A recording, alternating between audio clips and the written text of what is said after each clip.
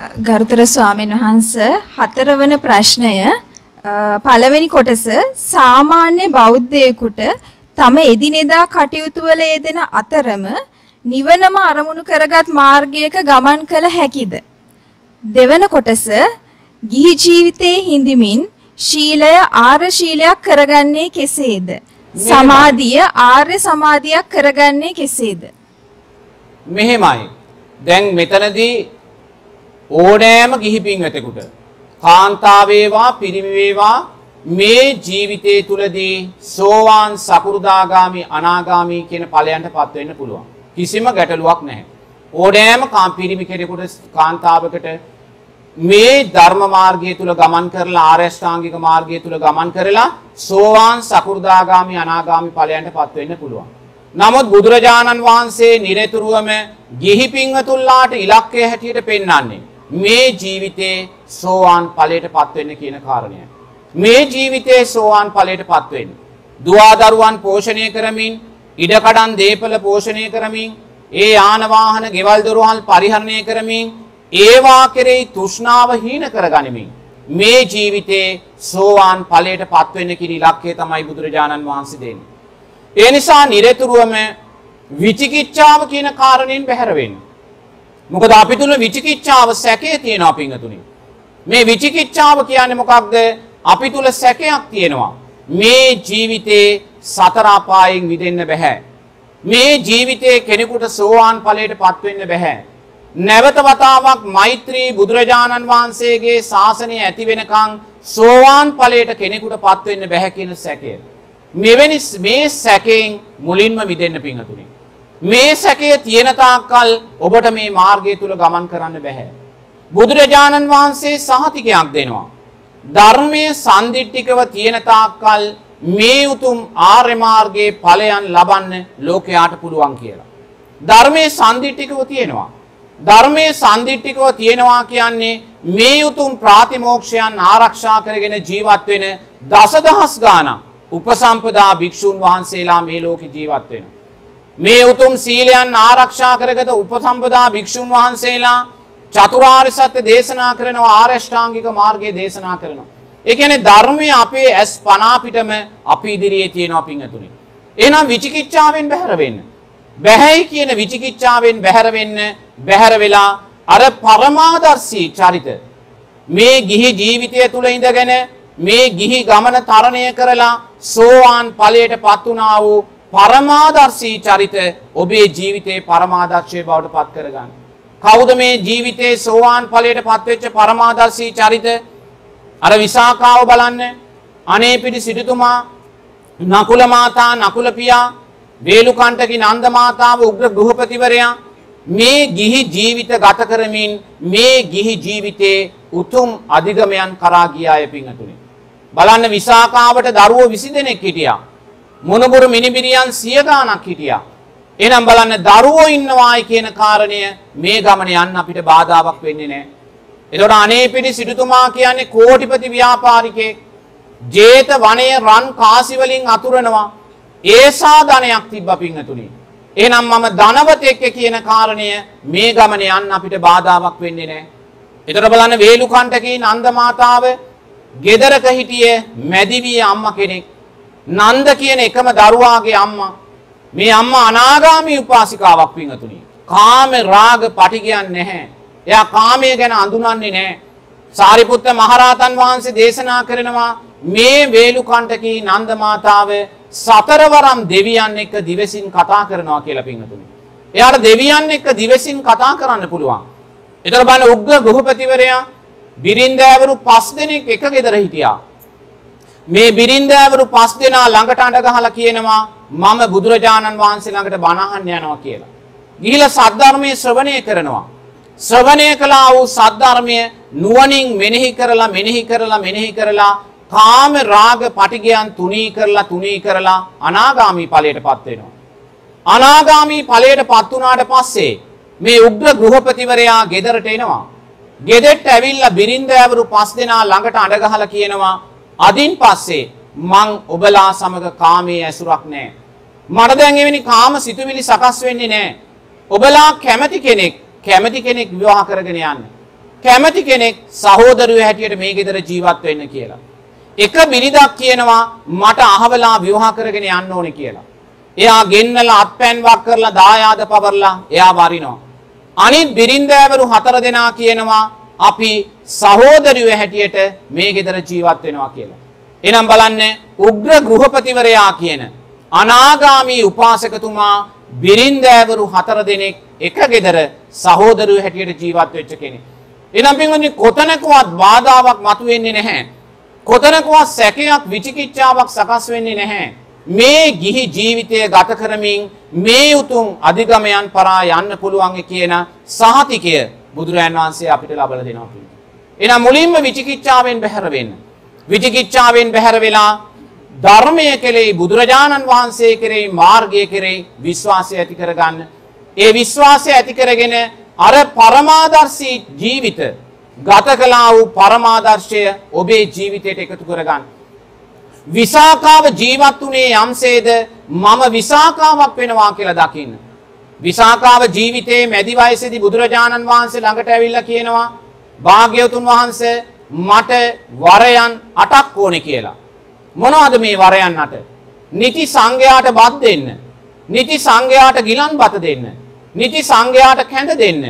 නිති සංඝයාට ගිලන් කැඳ දෙන්න. නිති සංඝයාට වැසිසලු දෙන්න. නිති සංඝයාට ඖෂධ දෙන්න. මේ වගේ වරයන් 8ක් ඉල්ලනවා පින්වතුනි. කවුද මේ? සෝවාන් ඵලයට පත්වෙච්ච විසාකා උපාසිකාව. එතකොට බලන්න වේලුකණ්ඨකී නන්ද මාතාව උග්‍ර ගෘහපතිවරයා අනේපිඩි සිටුතුමා එක වතාවට 500ක් ස්වාමින් වහන්සේලා ගෙදෙට්ට වඩම්මනවා. 500ක් ස්වාමින් වහන්සේලා ගෙඩත් ගෙදෙට්ට වඩම්මලයි දාන පූජා කරන්න පිංහතුන්. එනම් බලන මේ මාර්ගඵලලාභී උපාසක උපාසිකාවන් කොයිසා ශාසනය උදෙසා සාමීන් වහන්සේලා උදෙසා මේ ශාසනික සේවාවන් සිද්ධ කළාද කියලා.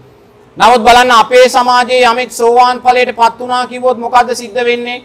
එදායින් පස්සේ ආ පන්සලට යන්නේ නැහැ පිංගතුනි. එයා සාමීන් වහන්සේලාට වන්දනා කරන්නේ නැහැ. බුදු පිළිම වහන්සේලාට වන්දනා කරන්නේ නැහැ.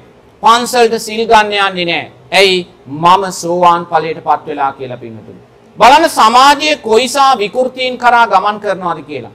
ඇයි මේ සමාජයේ විකෘතීන් කරා ගමන් කරන්න පිංගතුනි? ඊට හේතුව තමයි අර පරමාදර්ශී ජීවිත අනුව අපේ ජීවිතේ ගොඩනගා ගන්න අපි දක්ෂ නැහැ. ඒ නිසා ඔබ චිත්තයක් ඇති කරගන්න. මම මේ ජීවිතේ සතර අපායින් මිදෙනවා කියන චිත්තය, ඡන්දය, කැමැත්ත ඇති කරගන්න.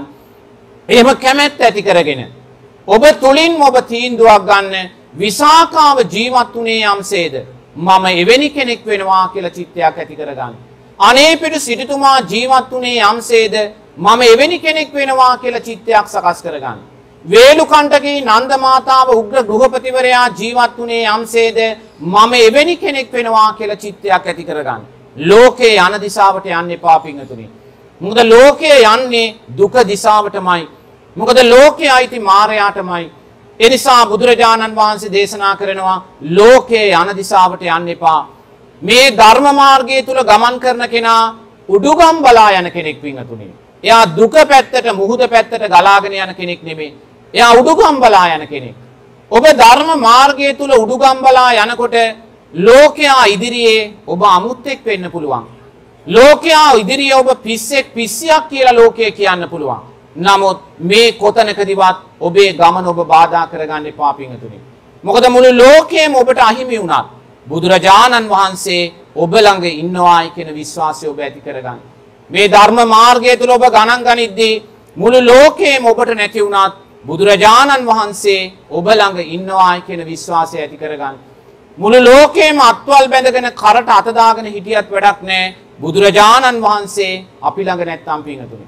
ඒ නිසා බුදුරජාණන් වහන්සේ තමා ළඟ ඉන්නවායි කියන විශ්වාසය තුල ධර්මයේ සම්දිට්ඨික භාවයේ ජීවමාන පවතින මේ මොහොතේ මේ ජීවිතේ සෝවාන් ඵලයට පත් වෙන්න පුළුවන් කියන විශ්වාසය ඇති කරගන්න. දෙවෙනි ප්‍රශ්නේ තමයි සීලය ආර්ය සීලයක් බවට පත් කරන්නේ කොහොමද කියලා කිව්වේ. මම මේකට උත්තරේ මුලින් දුන්නා. ඒ කියන්නේ සීලය ආර්ය සීලයක් බවට පත් කරනවා කියන්නේ සීලය විදර්ශනා නුවණින් දකිනවා. අපි කොච්චර සිල් සමාදන් වුණත් අපිට ලැබෙන්නේ භවයේ පිංගතුනි. බුදුරජාණන් වහන්සේ දේශනා කරනවා මේ ආවා වූ භව ගමනේදී මුණ ගැහුණු සම්මා සම්බුද්ධ ශාසනවල ඔබලා සිල් සමාදන් වෙන්න ඇන්ද සුදු සිල් රෙදි එක ගොඩක් ගැහුවොත් ඒක ගිජ්ජකූට පර්වතයට වඩා විශාලයි කියලා පින්වතුනි. ඔබලා සිල් සමාදන් වෙන්න ඇන්ද සුදු සිල් රෙදි එක ගොඩක් ගැහුවොත් එය ගිජ්ජකූට පර්වතයට වඩා විශාලයි කියලා. එනම් බලන්න ඒසා ඔබලා සංසාරයේ සිල් සමාදන් වෙලා තියෙනවා. නමුත් ඒසා සිල් සමාදන් වෙලා අපි ප්‍රාර්ථනා කළේ අපි ලැබුවේ කුමක්ද භවයමයි පිංහතුනි. අපි සීලය විදර්ශනා නුවනින් දැක්කි නෑ. සීලය ආර් සීලයක් බවට පත් කළේ නෑ.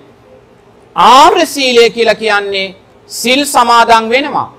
දැන් ඔබ හිතන්න ඔබ පංච සීලය සමාදන් වෙනවා. පංච සීලය සමාදන් වෙලා සිල්පද පහ ඇස් දෙක වගේ ආරක්ෂා කරගන්නවා. ආරක්ෂා කලා වූ සිල්පද ආවර්ජනය කරනවා.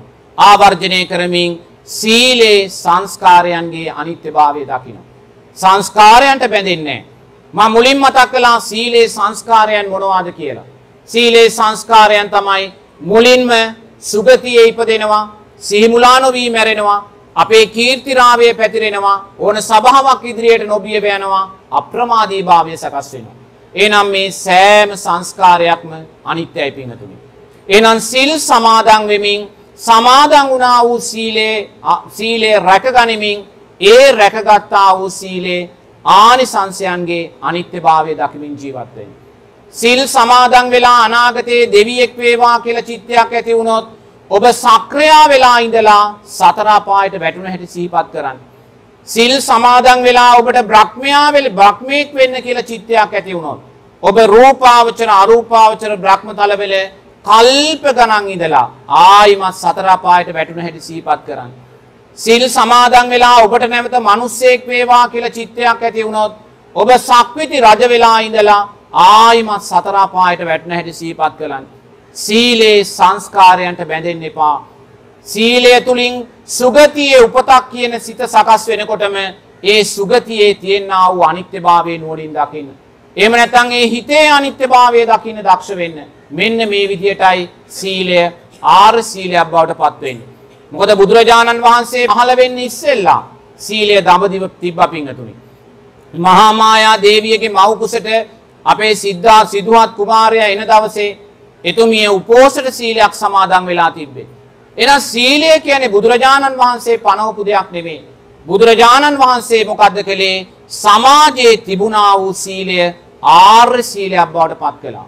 ආර්ය සීලය කියන්නේ විදර්ශනා නුවන ප්‍රඥාව සකස් වෙන්න වූ සීලයයි. ඒක තමයි ආර්ය සීලය. ඊළඟට එයා ඇහුවා සමාධිය කොහොමද ආර්ය සමාධියක් බවට පත් කරගන්න කියලා. මං කිව්වා ඔබ කොච්චරනම් සමාධිය වැඩුවත් සමාධිය වඩලා ඔබ කොච්චර ධානතල පුහුණු කරගෙන හිටියත් ඔබව විදර්ශනා නුවණක් ඔබට සකස් කරන්නේ නැහැ. ධාන උපාදානය කරගත්තොත් සමාධියට හිත ගියොත් ඔබ රූපාවචර අරූපාවචර බ්‍රහ්මතලවලයි උප්පත්තිය ලබන්නේ. මේවා ලෞකික බ්‍රහ්මතල පිංගතුනි. මාර්ගඵල පැත්තට ඔබේ හිත යන්නේ නැහැ.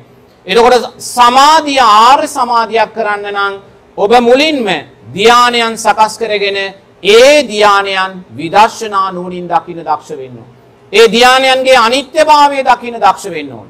මේ ධානයන්ගේ අනිත්‍යභාවය දකින මොහොතේ සමාධිය ආර්ය සමාධියක් බවට පත් වෙනවා පිංගුතුනි.